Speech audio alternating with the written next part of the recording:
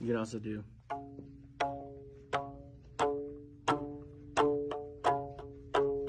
There's a few of that on the score.